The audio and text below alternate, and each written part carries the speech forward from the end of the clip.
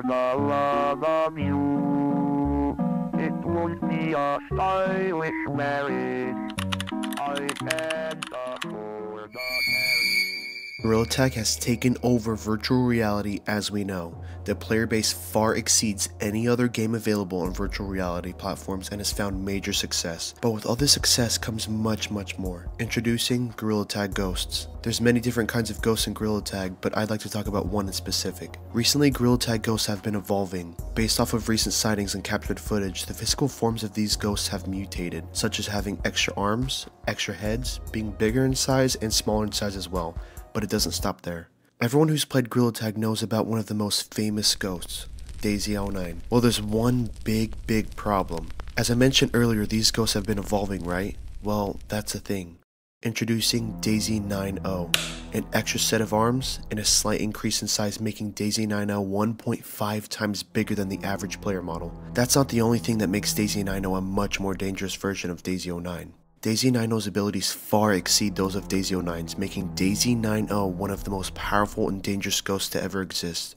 A story that was sent to me explained that three players were messing around looking for Daisy 09 when they accidentally entered in the room code wrong. Instead, they switched around the numbers, entering in room code Daisy 90. This is where the story begins. One day, three friends hopped into Gorilla Tag and wanted to do some ghost hunting. The first code they wanted to check was Daisy09, but got it mixed up, accidentally typing in Daisy90 instead. This is where the creation of one of Gorilla Tag's most dangerous ghosts came to life. Upon entering the code, the three friends searched and searched and searched every map but didn't find anything. They were going back to Stump to join another code when a familiar yet strange song started playing. Daisy, Daisy, give me your answer.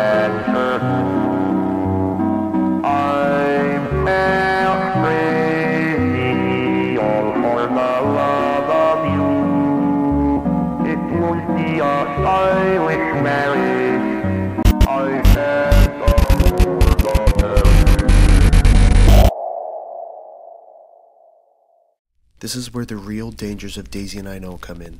The three friends started running as fast as they could, entering in a random code into the computer at an attempt to escape Daisy and I know. After joining a different code, they sat by the computer and Stump talking about what they had just witnessed. Being in a completely different room code means they're safe, right? Wrong. The three friends messed around, going into different maps until they stumbled upon one of Gorilla Tag's newest maps, Metropolis. While running around playing a game of tag in the new map, they began to feel off, as if someone or something was watching them nearby. Sitting there all together by the water, they heard sounds coming from above them. They looked up in shock to see Daisy 90 on top of the tallest building in the map.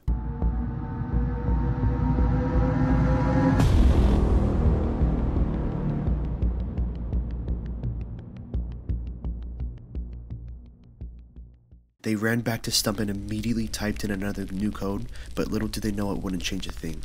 Since the three friends had encountered Daisy 90, she had gained control over them in a way they couldn't comprehend. No matter where they went, when they decided to get on Gorilla Tag, or what they wanted to do, Daisy 90 will be there watching every single thing they do. The scary part is, Daisy 90 hasn't even unleashed her true potential among the three of them. They decided to get off the game after what happened. The next morning, once again getting on Gorilla Tag, completely forgetting what had happened the previous day, they went into their main code they always meet up in and nothing seemed out of the ordinary. Just normal Gorilla Tag with Doug the Bug flying around. Minutes after joining the room code, the three friends got a message at the same time. Upon clicking on the message, the name of the person was blank with a black profile picture.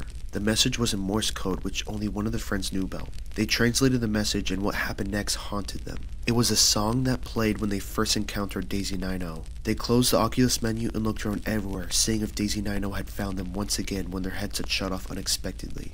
All three of the friends messaged each other asking if their headsets had also shut off randomly as well. When they confirmed their suspicions, they knew what they were dealing with was far greater than any Gorilla Tag ghost currently in-game. Two weeks later, they turned their headsets back on and wanted to face Daisy 90 head on.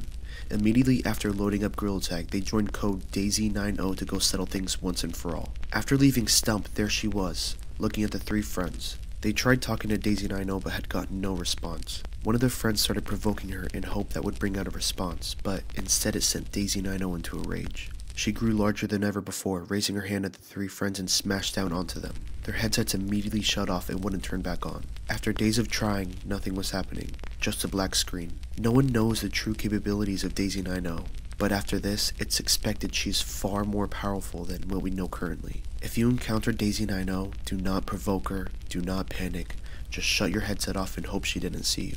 This advice has been sent out to all Gorilla Tag players by the three friends themselves. For those ghost hunters out there, Daisy 9-0 is the final boss of ghost hunting. When searching for Daisy 9-0, here's a list of recommendations given by the three friends and others who have also come into contact with Daisy 9-0. First things first, awareness. When searching for Daisy 9-0, you must be aware of your surroundings as Daisy 9-0 can teleport to any desired location, as well as having the ability to teleport you anywhere. So it's always important to know where Daisy 9-0 is at at all times if you come to contact. Second, know when to leave. Daisy 9 is not like the other ghosts. She will gain control and follow you wherever and whenever she pleases into every code you go into. So if you feel things are going too far, leave immediately. Third, be cautious. Daisy 9 is incredibly powerful. She has abilities not even documented yet since she has just recently been born into Gorilla Tag. Last but not least, never go alone. When hunting for Daisy 9 it's extremely important to have a group with you. To all my fellow Gorilla Tag players out there, spread this message and stay safe. Daisy 9 sightings have been increasing rapidly and many of these players have no idea whatsoever about the capabilities of Daisy 9 And before I finish this off, here's captured footage of Daisy 9's message. I am Daisy 9 Daisy 9's descendant. No, I am not Daisy 9. I am simply a distant relative. For those that tried to hunt me down, just leave me be I'd like to live my life in. Gorilla tag in peace. If you decide to look for me anyway, I beg you hear my warning. Bring it on ghost hunters. I'm not like any of the ghosts you've seen before. In fact, I don't think I should be compared to those guys. Sure, they may be powerful, but I transcend beyond multiple of the ghosts you've seen combined. Good luck, ghost hunters.